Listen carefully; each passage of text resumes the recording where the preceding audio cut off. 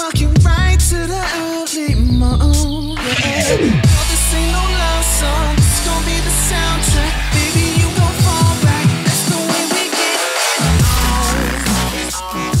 get. Welcome, ladies and gentlemen, to the improved, improvised, much better version of the single versus dual GPU video. Now, I made a video on this topic a, few months ago, more than a few months ago, I think close to a year ago now, and the video wasn't very clear. Not a lot of people liked it.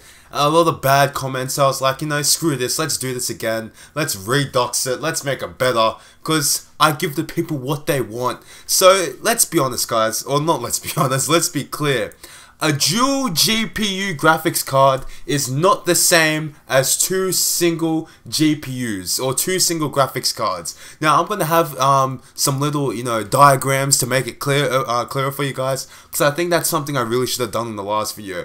So what you see on screen now is a dual GPU graphics card, or that that actually makes no sense. A dual GPU card. Because dual GPU graphics card that's like a bloody not an oxymoron but that's just like repeating myself. So as you can see there's two of the GPUs on the same PCB now the PCB is just like the board the motherboard looking thing. That's the best way I can explain it to someone that might not understand. So it's two GPUs on one PCB that is a dual GPU card.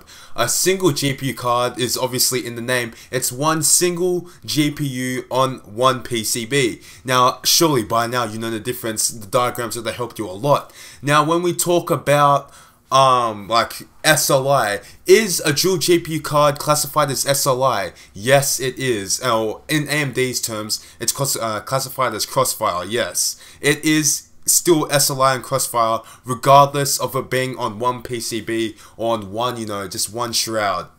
So, yeah, if you're buying a dual GPU card, you'll still have the same SLI or Crossfire issues which you might come across by having two single GPU cards.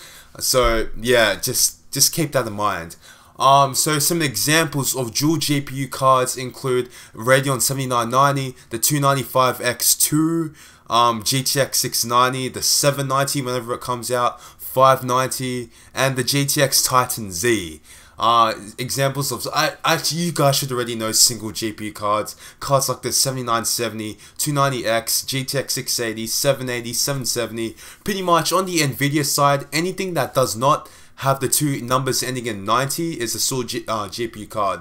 If you ever see it end in 90, it's a dual GPU card. If it's not, it's single GPU. On the AMD side, it's a bit different. They always change their uh, GPU naming scheme, so that varies. But you'll know, you'll see in the specifications whether it's a dual GPU card or not.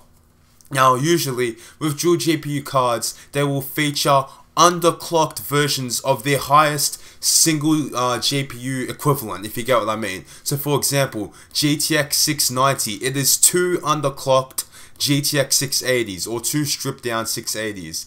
Um, 295X2, however, uh, it's AMD. I've got to give it to them. They did the 295X2 extremely well. They're two overclocked.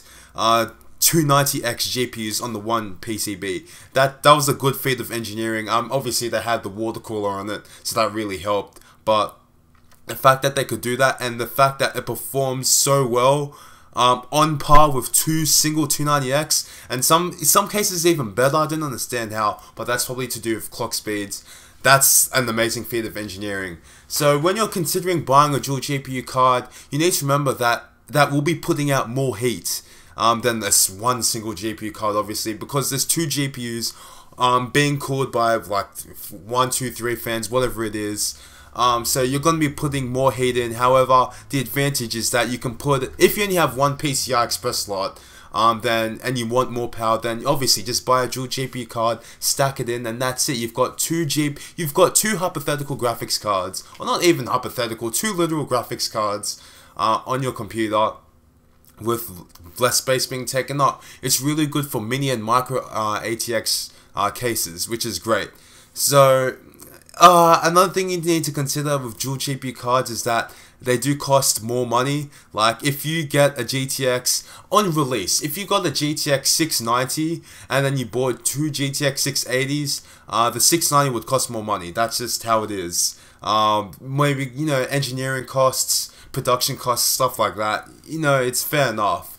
Um, just like the 295X2 costs uh, 11 no $1500 and two 290Xs are 5 uh, 550 plus 550 1100 bucks. So there's a $400 premium. However, 295X2 is priced pretty well considering that they are those chips are overclocked and they're water cooled. So uh, it's tough, but you know, there's trade-offs left, right, and center. So you just got to consider these things, and really, you just need to make an informed decision honestly, my I know a lot of people, a lot of other computer people say this, but if you have the opportunity, you're better off buying. Actually, no, that doesn't really apply to this, but I would honestly prefer if you've got the space in your case, buy two.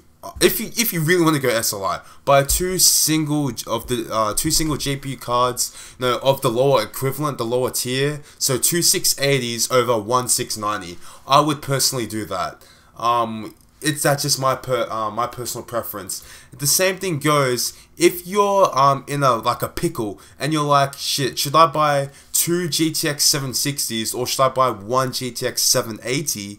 Even though the two 760s will perform slightly better, I would still uh, prefer buying the 780. Like it, you're always better buying off what will give you the least amount of hassle, if that makes sense. Like that's not comparable to this scenario, to this video, but you know, I'm just putting it out there just in case people want to know. So anyway, guys, that's pretty much it. Like, all you really needed to understand was the, uh, the difference was those diagrams at the start. So that's pretty much it. Thank you for watching. I hope you enjoyed this improved version of this video. It was necessary. If you want to go back and watch the other one, you'll see how bad it was. It was kind of iffy. I had my bad mic. But anyway, thanks for watching, and I hope you enjoyed.